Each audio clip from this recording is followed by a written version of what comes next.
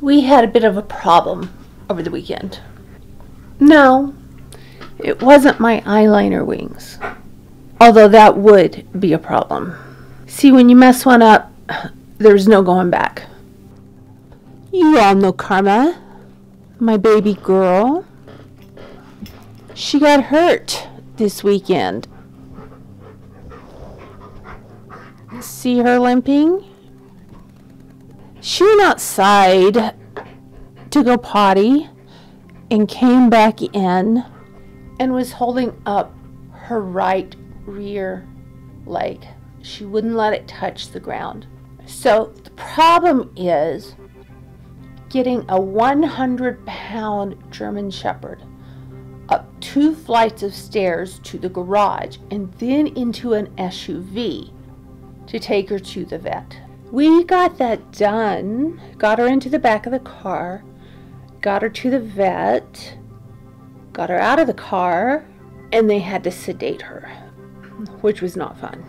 I have never seen a dog cry. She actually had tears running down both eyes.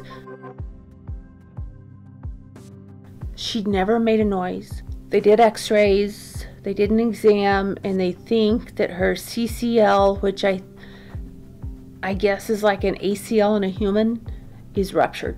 So today we're going to a specialty vet, an orthopedic surgeon. Why does this keep moving on me? This is making me angry. Going to an orthopedic surgeon to have her a consult done, and then hopefully, if she needs it, we can get her into surgery next week. We could let her heal on her own, but then she would always limp. She would always have problems with her leg, and it just wouldn't be a good situation. So, what I was told is they do an implant. Look at her. She's so sweet and unsuspecting that she's going to have to get back in the car today, go to another vet all the way across town. Uh, why are you not focused? This isn't focusing on you. What's the deal? There. And they're going to look at your knee again, and they may have to sedate you again. I hope not. But you've been a trooper. So far, she's been an absolute trooper, but it hurts. It hurts watching her hurt. So we're going to try and get her in the car and go to the vet. There she is in my backyard. She's on a notebook. Are you ready to go down? Do you want to go downstairs? Let's see if we can make it downstairs. Oh, my baby. I hate her going downstairs, but look at her. Karma, be careful. She wants to go outside. But we can't go outside because it freaking snowed and she'll slip and fall and she'll get hurt again. I'm so sorry you got hurt, baby. And she has her Kong and she wants to run and she wants to play and she wants to jump. But she won't be able to do that for about eight weeks after surgery. Karma, we're gonna go bye bye. Do you wanna go bye bye to the to the look at her. Alright. Do you have your key? Let's go.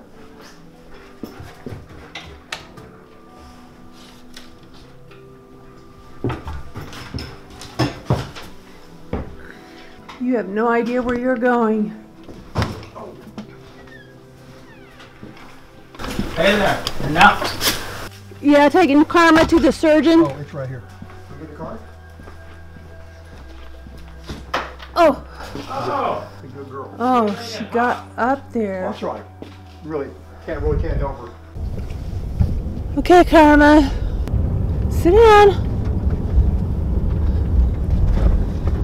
We'll go see if you're okay. I hope they got her x-rays and can look at them from the vet yesterday because I don't want them sedating her again.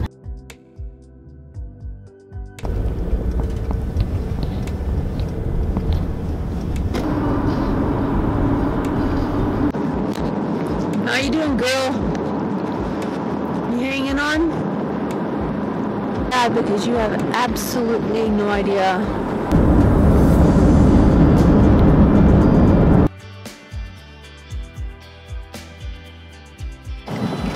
They came out to get Karma to take her in. We can't take her in because of COVID. And when she didn't want to get out of the car, it was hard to get her out. She was very hesitant. And when she got out, I think she knew she was going to be doing the same thing she did yesterday, and she took off. Or tried to. We got her, she's in there. They won't let us go in there with her.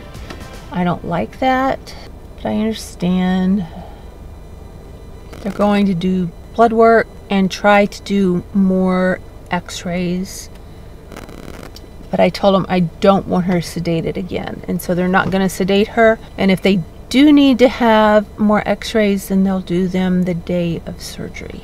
But I'm, I'm not liking this not being able to talk to the doctor that's going to operate on her. I don't think that's cool. I have answers. We just got back from the vet taking Carmageddon to see the surgeon.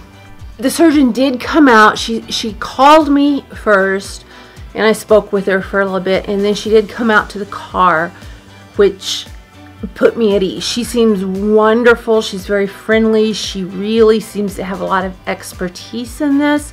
So Karma is scheduled for surgery January the 10th. I am so impressed with these people. Veterinary Surgical Centers of Portland. They have given us, oh my gosh, all of this paperwork and even rehab facilities afterwards so she can start with, I guess, physical therapy. And I asked her all sorts of questions. First of all, she said Karma was very well behaved and very helpful and was just an excellent dog, which she is, even though she tried to run away when she knew she was going to go in there. But once in there, she did well. But what they're doing is a tibial plateau leveling osteotomy, os- I don't know, whatever, surgery. And no, this is going to be hard. No stairs, running, or jumping for six to eight weeks. Now, when we got home, Karma wanted to go into the backyard. What she wanted me to throw her Kong. When I wouldn't throw her Kong, she threw it at me and huffed inside, went in, and threw herself on the floor. So, this is what they're going to do because she completely ruptured her, her cranial cruciate, cruciate ligament is completely torn. So they're going to go in and they're actually going to restructure the bone. They're not going to put an implant in like the other place was. They're going to restructure the bone. And when I asked the vet what to expect af- afterward, like in terms of recovery, if Karma was going to be able to do the things that she does now, She's very active. She runs, she jumps, she's very, very athletic. The doctor told us that what she does is surgeries on hunting dogs and athletic dogs and mountain climbing dogs.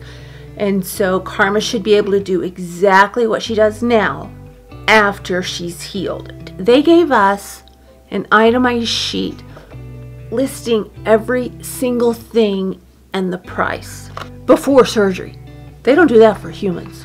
I was like really super, super impressed. Karma was glad to get the heck out of there and get home. So now we're okay. Today is December the 28th. Her surgery is January 10th. It's going to be a long couple of weeks waiting to get her in. And then her recovery, the two weeks afterwards, she's going to have to be leashed to do anything because I have to be able to, to keep her under control she totally embarrassed me. I mean, here she is, my service dog, trained service dog, and she knew she was at the hospital and she tried to run away. It's like, oh my gosh, Karma, get back here. Anyway, they, they said she was very helpful, that she was very friendly, she was very well socialized, very healthy, her heart was very healthy, and everything looks good. The main thing is, I am freaking out because she's my baby and I don't want anything to happen to her. So says your your pet will need to be confined to a small room or crate for the next six to eight weeks. If you have other pets in the house, keep them separated. They don't know karma. I don't know how we're to do this, but we're to we're to do it. She's too big for her crate. I can't put her in her crate. That's that's just not nice. She stays with me after my surgeries and stuff. I can't do that to her. But it looks like it's good. I really like the doctor. Name's Dr. Cioffi at Veterinary Surgical Center of Portland. Come here, Geddon. Karma. Karma Geddon. There she is. Karma, come. Hey, sit, sit. Here is the champion dog. She's wonderful. Gonna go for surgery and do really, really well. Right now, all she wants to do is to play with her toy. Watch her face. Where's your toy? Where's your toy? Oh, be careful, Car- Karma! It's gonna be fun, those two weeks after surgery. Peace.